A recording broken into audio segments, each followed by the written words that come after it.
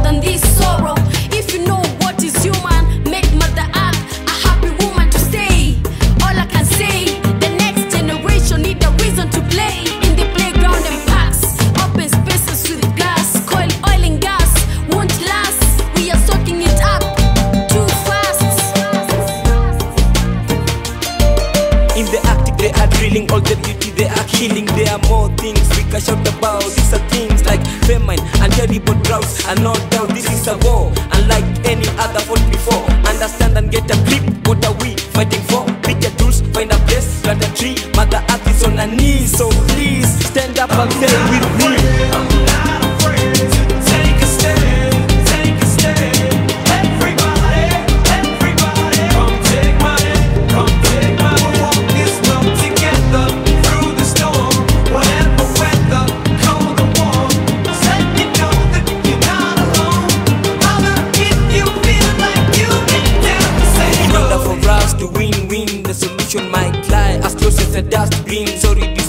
footprints, footprints to give your future seed a head start. There is a hit for survival. Recycle your glass, metal, and papers. That means our salvation lies in the sun that shines every day, and the wind that blows in your face, and the heat from the ground that flies beneath your feet. That's why I leave your car and take a hike to work and ride a bike. And who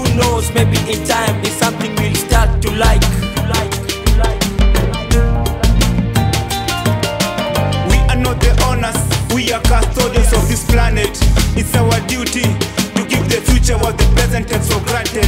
Hear this call, one and all. This affects us all. We all live in different corners, but in the same world. In acceptance, we stand. In denial, we fall. This a revolution before we become the victims of our own evolution.